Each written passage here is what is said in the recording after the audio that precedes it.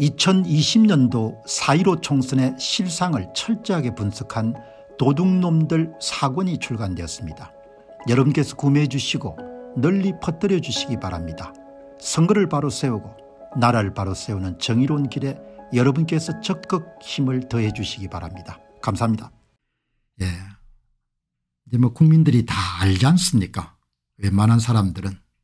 뭐 이제 그런데 그걸 이제 계속해서 뭉개니까 윤 대통령 지지도가 올라가기 참 힘들 것 같아요. 예. 물론 공병호 tv에 의견이나 댓글 남기신 분이 국민을 대표하지는 않지만 오늘 오래간만에 의견 한번 소개합니다. 배가 부르고 윤리가 타락하고 예. 저소득이라 생각하는 70%가 투표를 이용해서 평등사의 꿈을 이루려 하고 있습니다. 스스로 노예의 길을 걸어가는 것조차 모릅니다. 모든 길은 로마를 향하고 모든 영토가 몽골이던 시대 한 번 흥하면 한 번 망하는 이치가 인간 세상인 것 같습니다. 예. 선거 부정을 우리 편이 했으니까 뭐가 문제가 되나 이렇게 생각하는 사람들이 있죠. 그런데 예. 뭐 전부가 다 이제 노예가 되는 겁니다. 내란급 조직적 부정선거를 대통령이 잘 알고 있으면서 침묵하는 이유가 참으로 궁금합니다. 정의로운 줄만 알았던 여당 대표급 한동훈 씨마저 부정선거의 침묵 묵살한 지금의 기가 막힙니다. 언론은 거대한 세력에 끌려다니기 기대할 수가 없고 우리나라가 어쩔 어쩌려고 이 꼴이 되었는지 참 걱정이 됩니다. 이렇게 생각하시는 시민들이 꽤 많으실 겁니다. 왜냐하면 본인이 살아온 인생이나 뭐 이런 상식으로 밀어볼 때 지금 이렇게 이런 문제를 이렇게 깔아뭉개고 선거 부정을 열 번째 이름 진행되도록 그렇게 방조하는 사회를 이해할 수 있는 사람은 없을 겁니다. 이게 보통 시민이 갖고 있는 굉장히 뭐 아주 지극히 평범한 이야기인 거죠. 예. 내란급 조직적 부정선거를 대통령이 잘 알고 있으면서 침묵하는 이유를 자기가 이해를 못하겠다는 겁니다. 정의롭고 이런 똑똑한 줄 알았던 한동훈 이런 비대위원장이 이 문제를 그냥 철저히 까레뭉개는 걸 이해할 수 없다는 겁니다. 그 사람들은 밝힐 의지가 없는 거죠. 부정선거로 국가 반역죄가 발생했는데 윤석열과 한동훈과 이원석과 검찰총장이죠. 김여민 김용빈 선관위 사무총장이 시간을 벌어주고 있습니다. 예, 정말 다 납득하기 힘든 거죠. 예. 재열님은 해법을 정확하게 지적하지 않습니까 지금 시점에 선거관리관 개인도장 날인이 답입니다. 예, 가장 중요한 지적을 하지 않습니까 투표관리관 개인 도장을 반드시 찍게 하라. 이것을 반대하는 선거관리위원회가 부정선거의 진범이다. 이것을 언급하지 않고 침묵하며 침묵하는 윤 대통령도 뭔가 모르지만 결국 이 범죄의 공범자라고 할 수밖에 없다. 왜냐하면 직무유기를 하고 있기 때문이다. 이게 보통 시민들이 갖고 있는 특별하게 법에 대한 뭐 그런 지식이 없다고 하더라도 대개 헌정 질서를 유지하는 것은 대통령의 책무라고 대부분 분들이 알 거 아닙니까 뭐 헌법 제66조 뭐 이런 것을 거론하지 않더라도 이렇게 이야기하는 겁니다. 이렇게 생각하시는 분이 굉장히 많을 겁니다. 그래서 대통령 지지도가 회복될 수가 없는 겁니다. 표를 줬던 사람들 중에 최소한 제가 볼 땐 60% 이상 정도가 이런 생각을 할 겁니다. 예. 그러니까 투표 관리관 개인 도장 찍는 거 하나 어떻게 그렇게 당신들이 간철을 못 시키냐 이런 원망이 있는 거죠. 도대체 투표관리관 도장 찍는 것도 국가가 마음대로 못하냐 윤석열 대통령은 이번에 이거 못하면 그냥 물러나시기 바랍니다. 4명이 찬성한 겁니다. 사전선거 qr코드 분석에 따라서 지지 성향 빅데이터 여론조사 등 이용되지 않는지 믿을 수가 없습니다. 선거 전산 자료와 관련하여 세밀한 조사가 필요하다고 생각됩니다.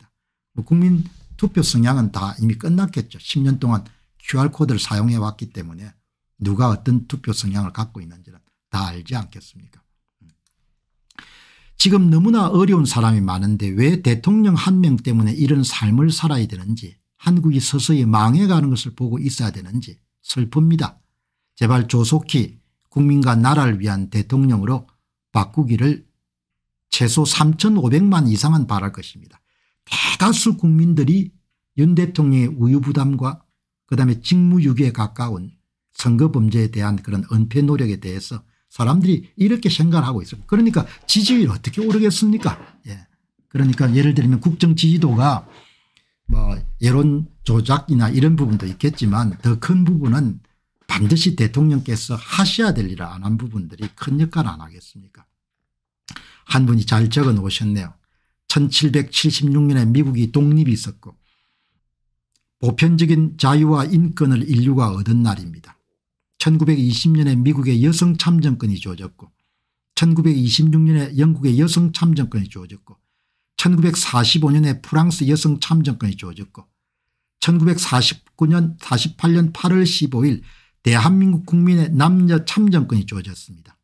아직도 전 세계 인구의 과반수가 보편적인 자유와 인권을 누리지 못하고 있는데 우리 대한민국 국민은 공짜로 얻은 것이라 실정이 나서 이것을 버리나 봅니다.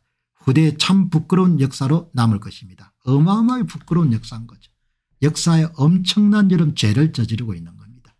지금 세대에 나라 일을 하는 사람들이. 그래서 한동훈 비상대책위원장이 뭘 똑똑한 것처럼 저렇게 이리 뛰고 저리 뛰고 하는데 내 눈에는 참 여러분들 뭡니까 예. 어떻게 검사 출신들이 그렇게 양심이 없습니까 검찰 출신들이 어떻게 그렇게 선악 개념이 없습니까 그러니까 그 사람들이 검사에 있으면서 뭘 했는지 모르겠어요. 그냥 없는 죄는 부풀리고 있는 죄는 좀 그냥 뻥튀기 해가지고 뭡니까 그냥 없는 놈 그냥 집어 양성태 씨 이름들 이번에 47개 이름들 혐의가 무혐의 되는 걸 보면 아 검, 검찰들이 저렇게 하구나 그걸 느끼신 분이 많을 겁니다.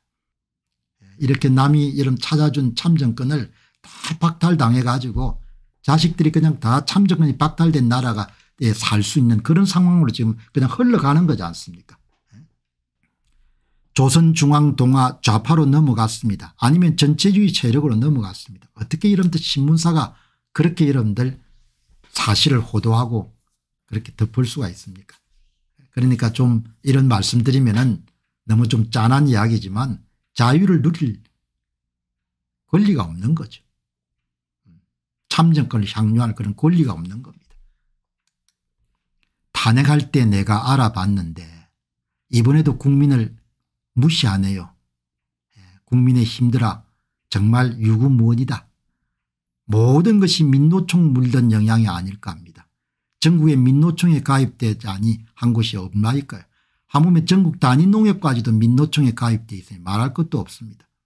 그러니까 민노총 후보만 나오면 또 당선되지 않습니까 2023년도 4월 보궐선거에 울산광역시 교육감 선거에 조작값을 무려 35%나 사용해 가지고 민노총 지지 후보가 당선 낙선자를 당선자로 만들지 않습니까 사회가 민노총의 힘에 의한 부정선거뿐만 아니라 통치권까지도 벙어리가 되어 있으니 부정선거 또 시도하겠죠. 한심한 나라가 되겠죠. 70대 후반의 암담한 심사 어디에 한탄할 것 노파의 넋두리입니다. 70대 후반이 되신 분이 나라 앞날을 이렇게 걱정하는 겁니다.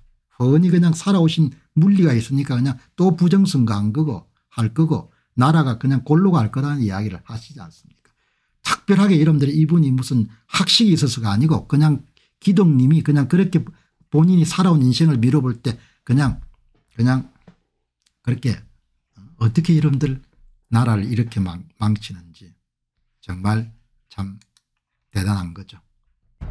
2022년 지방선거에서 일어난 일을 낱낱이 밝힌 도둑놈들 5권 2022년 지방선거 어떻게 훔쳤나가 출간되었습니다. 이미 발간된 도둑놈들 1권 선거 어떻게 훔쳤나 2권 2022년 대선 어떻게 훔쳤나 3권 2022년 대선 무슨 짓을 했나 4권 4.15 총선 어떻게 훔쳤나에 이어서 다섯 번째 발간된 책입니다. 여러분께서 구매해 주시고 주변에 널리 알려주셔서 선거 공정성 회복을 위해 전 국민 필독서가 될 수 있도록 힘을 대주시기 바랍니다. 감사합니다.